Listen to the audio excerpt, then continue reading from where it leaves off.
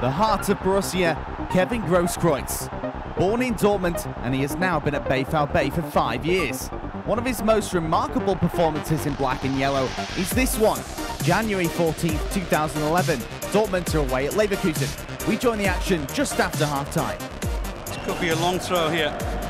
Piszczek, it was a long throw. Oh, that looked like a handball, but who cares? It's in the back of the net and scored by Kevin Grosskreutz.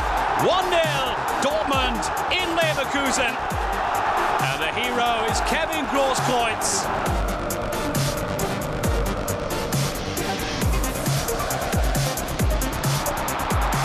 And it looks as though they're in trouble, and they are. Leverkusen are down, and there he goes again, the hero Kevin Grosskreutz on 53 minutes. He makes it 2-0, and Jurgen Klopp and the Wild Boys of Dortmund are going wild.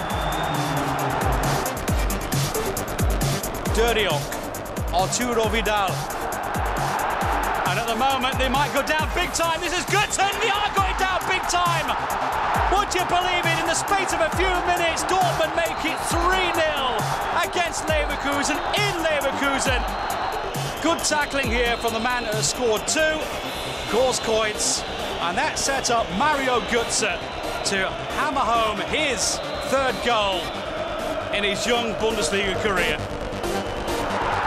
Five and a half minutes, two goals and one assist. The eventual champions won the game 3-1 in the end. And this guy certainly earned that hug.